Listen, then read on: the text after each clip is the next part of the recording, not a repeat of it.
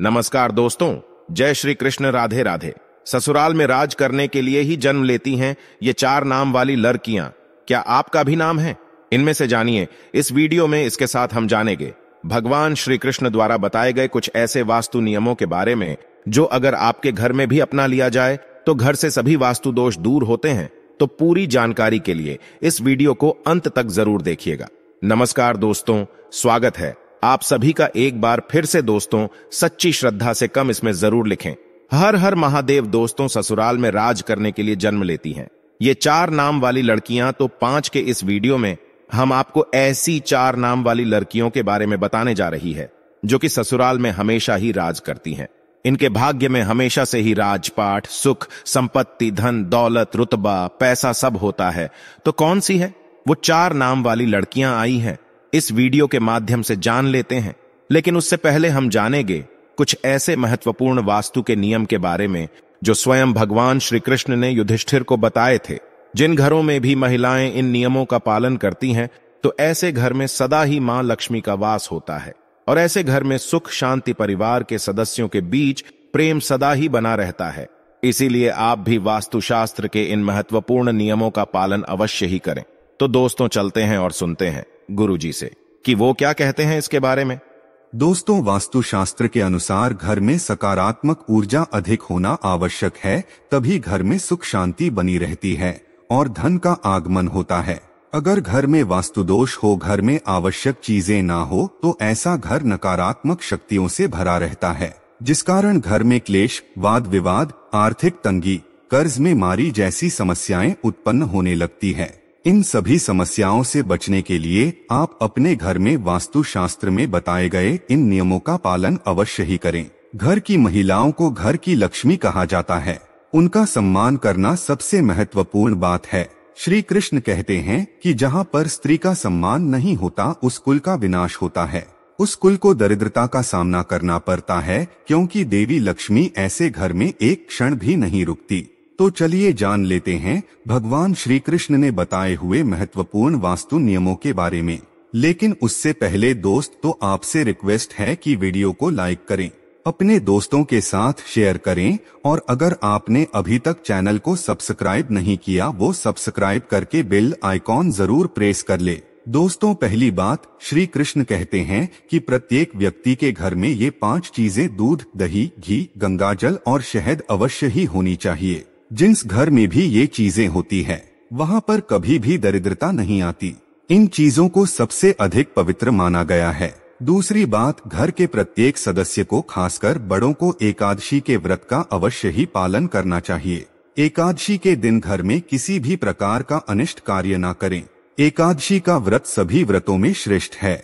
इसीलिए इस दिन घर की शुद्धता बनी रहनी चाहिए, जिससे घर की स्त्री नीता एकादशी के व्रत का पालन करती है। उस घर में लक्ष्मी सदा ही निवास करती है। तीसरी बात, शाम के समय घर में माँ लक्ष्मी का आगमन होता है।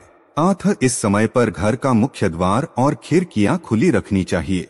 रोज शाम को चाहे पाँच मिनट के लिए ही सही, लेकिन आपको अपने सभी खिड़कियाँ और दरवाजे खुले रखने चाहिए। शाम के समय घर के मुख्य द्वार पर घी का दीपक अवश्य लगाना चाहिए। दीपक जलाते समय इस बात का ध्यान रखें कि दीपक के नीचे थोड़े अक्षत अवश्य रखने चाहिए। शाम के समय घर के आँगन में पानी का छिड़काव करें।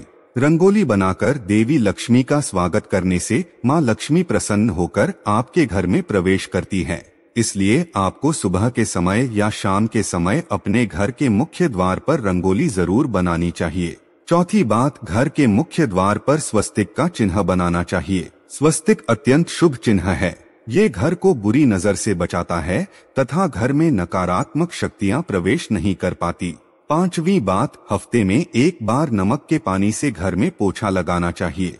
नमक नकारात्मक शक्तियों को सोख लेता है, और घर का वातावरण पवित्र करता है। स्नान करते समय भी पानी में थोड़ा सा नमक मिलाकर स्नान करना चाहिए।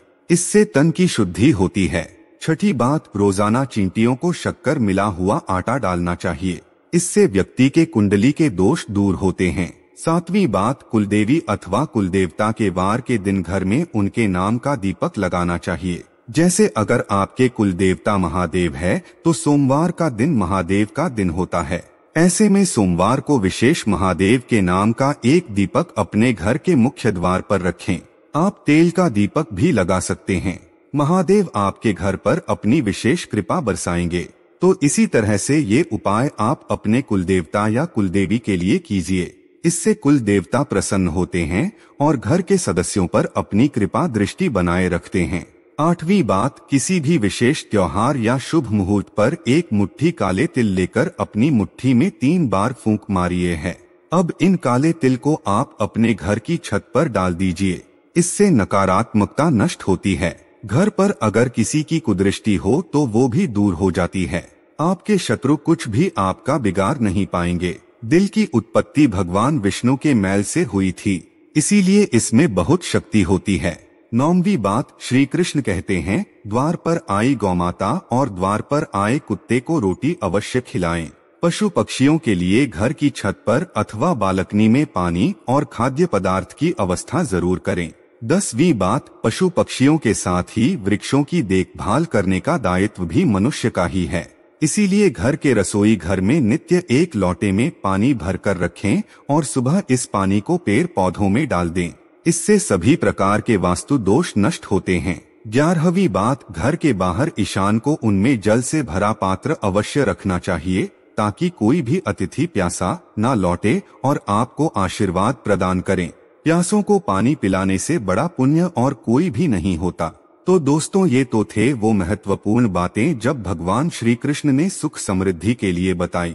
आइए आप जानते हैं, कौन से वो चार नाम है जो अगर किसी भी महिला के हो तो ऐसी महिला करती है। ससुराल पर आज दोस्तों शादी के बाद, जब भी कोई लड़की अपने ससुराल जाती है तो उसे कई प्रकार के नियम कायदों का पालन करना पड़ता है।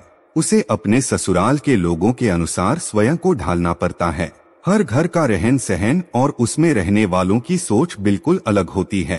ऐसे में इतने सारे लोगों के बीच जब एक लड़की बहू बनकर आती है तो उसे ही स्वयं के घर के माहौल के अनुसार ढलना पड़ता है। हालाँकि सभी लड़कियाँ ऐसा नहीं करती, बल्कि कुछ लड़कियाँ तो इतनी माहिर होती है कि ससुराल जाकर बाकी सबका रहन सहन ही बदल देती है और खुद अपनी बोली चलाकर घर पर रास करती है। दोस्तों, ससुराल जाकर सब कुछ अपने हाथों में कर लेना भी एक कला है, जो सब में नहीं होती।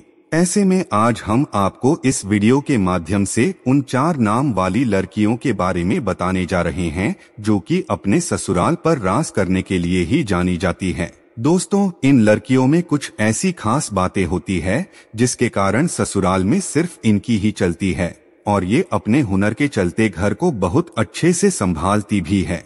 दोस्तों, नंबर एक, ए, नाम वाली लड़कियाँ। जी हाँ दोस्तों के नाम वाली लड़कियाँ बहुत ही चालाक होती है। इन्हें दूसरे लोगों का दिल जीतना किया। उनसे अपनी बात मनवाना बहुत अच्छे तरीके से आता है।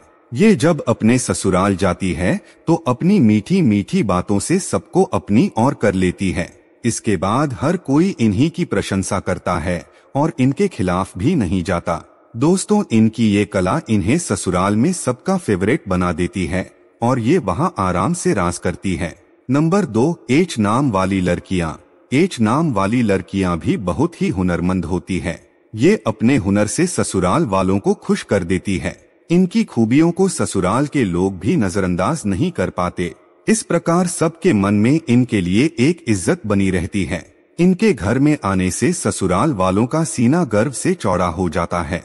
इसी कारण वाली लड़कियाँ भी अपने ससुराल पर सम्मान के साथ रास करती है। नंबर तीन, एम, नाम वाली लड़कियाँ एम नाम की लड़कियाँ भी दूसरे लोगों के दिमाग को बदलना अच्छे से जानती है कि अपनी बातों से किसी भी मनुष्य की सोच बदल सकती है। ये जब ससुराल जाती है तो स्वयं को वहाँ के लोगों के अनुसार नहीं डालती बल्कि वहाँ के लोगों को अपने जैसा बना देती है। इन्हें जीवन में बदलाव पसंद होता है। ऐसे में अपने ससुराल में भी ये कई बदलाव करती है। इस प्रकार वहाँ इनका दब्बा बना रहता है। इन्हीं की हुकूमत चलती है। दोस्तों नंबर चार, एस नाम वाली लड़कियाँ। एस नाम की लड़कियाँ। थोड़ी अलग टाइप की होती है। इन्हें गुस्सा भी बहुत जल्दी आ जाता है। ये अपने ससुराल में बड़े ही ठाट बाट के साथ रहती है। जो व्यक्ति इनका हक मारने की कोशिश भी करता है तो वो इनके सामने अधिक समय तक टिक नहीं पाता और दोस्तों ये ससुराल में सभी को अपने वश में करके रखती है। कई लोग तो इनसे खौफ भी खाते हैं। इस प्रकार से अपने ससुराल में रानी की तरह रहती है। दोस्तों, ये थी वो चार नाम वाली खास लड़कियाँ जो कि ससुराल में रास करने के लिए ही जन्म लेती है। वैसे आपका शुभ नाम किस अक्षर से शुरू होता है? आप हमें कमेंट में ज़रूर बताइएगा। दोस्तों, आप कोई वीडियो कैसा लगा, हमें कमेंट में ज़रूर बताएँ। इस वीडियो को लाइक करें, अपने दोस्तों के साथ शेयर करें और हमें सब्सक्राइब करना ना भूलें। जल्द मुलाकात होगी। अगले वीडियो में हर हर महादेव। राधे राधे, धन्यवाद।